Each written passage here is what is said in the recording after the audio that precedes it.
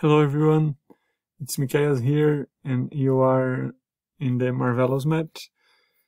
This is another video of the series uh, of uh, Introduction to RStudio and in this video we are going to talk about uh, functions.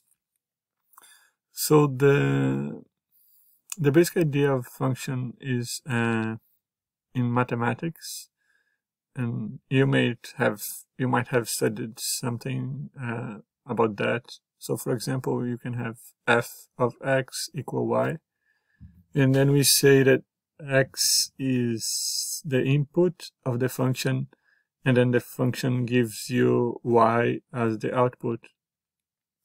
And uh, we have a really uh, similar idea here. So let's see how how is the structure for functions in RStudio. So let's call it my function. And then that's the name, is the same way you name a variable. Uh, and then when you call it, you will call the same way as well. You will use the name to call the function. Uh, so you give a name to it and then you use the word function. And then here you need to uh, create the variables you want to use to receive the input for for your function.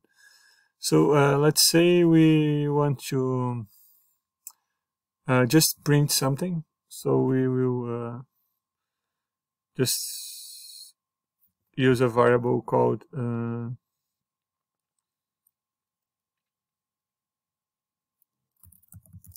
string and uh, then we open brackets and we print uh, string. And uh, we can uh, now execute this. So you can see here you have uh, the lists of functions you have my function. Uh, but you you don't have a variable called string because everything you do inside of the function uh, it's it's not saved in the global uh, script. So uh, if you wanna save something uh, you need to use return and that's actually more uh, a more proper way of using functions using a return. Because uh, because the idea of the function is to have uh, output right? But in this case we are just starting so let's keep the way it was. And now let's call uh, our function. Uh, so my function. And then here we need to give uh, something, a variable for or something for the function to print. So let's just give a string. Let's say print this. And and then we run this line and see what happened. So it will just print what we the the input we gave to the function. Now let's do uh, a function that will actually return something. So let's uh, make a function called add two numbers and uh, it will receive as input two numbers. So n1 and n2 uh, actually I am uh, using the right construction. So it is the number of the function and then you, you write function and then uh, here goes the variable here go the variables that will receive the uh, input and then what we do with these numbers we add them. But we will also return the result so we can do return. And then we can add inside. So n1 plus n2 and then uh, now we we first run this function. Now we have another function here on our list of functions, and we can use this one add two numbers. Now we need two numbers, so two and three. Uh, and now the function is uh, return something, so let's call this variable result. And then let's use our pre previous function to print the variable result. So my function result. So let's uh, run these two lines.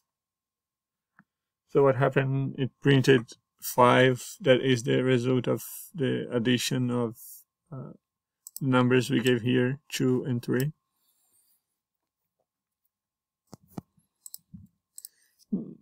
Now, uh, just to practice a little bit more, let's do another function. Let's call uh, add the first n numbers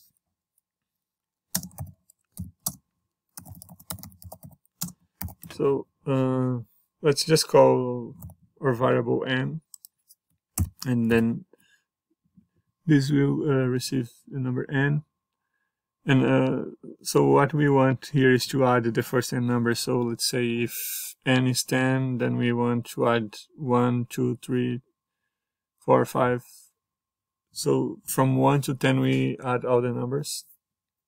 And to do that we can use a loop. So for e y i in 1 2 n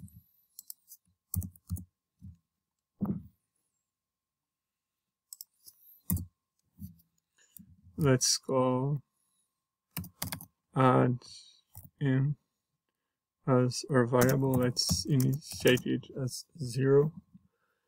And then now uh, add n will be equal add n plus i.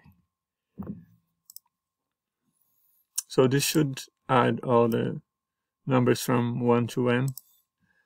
And uh, and then after we finish the loop we need to return uh, the result. So add n.